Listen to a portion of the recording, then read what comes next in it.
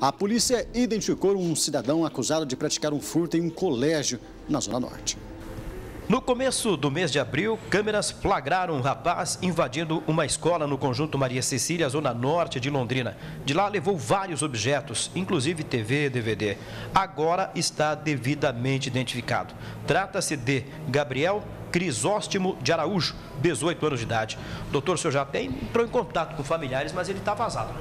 Exato, Evandro. Como nós divulgamos essas imagens no começo do mês, é, iniciamos as investigações e conseguimos identificar é, esse suspeito de ter adentrado uma escola municipal ali no Conjunto Maria Cecília.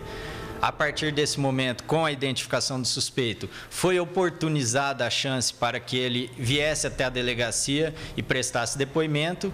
É, inclusive, foi deixada uma intimação com a mãe dele.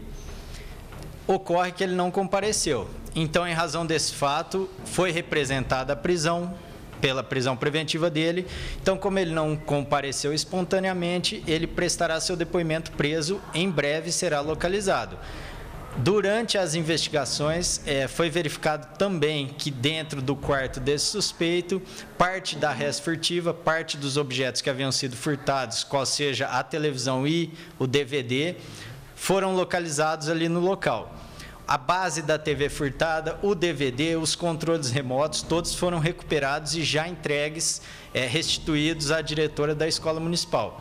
Agora, é, só estamos no aguardo é, da expedição desse mandado de prisão para que possamos localizá-lo e prendê-lo. Tinha até maconha no quarto do menino lá? Exato. Além desses objetos furtados, foram, é, foi localizado também uma porção de maconha, aproximadamente 90 gramas. Então, em razão desses fatos, é, o suspeito responderá aí tanto por posse é, ilegal de drogas para o consumo pessoal, quanto pelo crime que ele praticou é, de furto qualificado. Quem comprou essa TV ou trocou por droga, que fique de pianinho, né, doutor? Perfeito, Evandro. É, nós vamos descobrir também quem recebeu essa televisão, haja vista que não estava é, no interior do quarto do suspeito. Então, quem, é, quem recebeu esse objeto ilícito também responderá pelo delito de receptação como estava lá, tinha maconha no quarto dele, possivelmente um viciado em drogas, que vai cometer alguns crimes para manter o vício.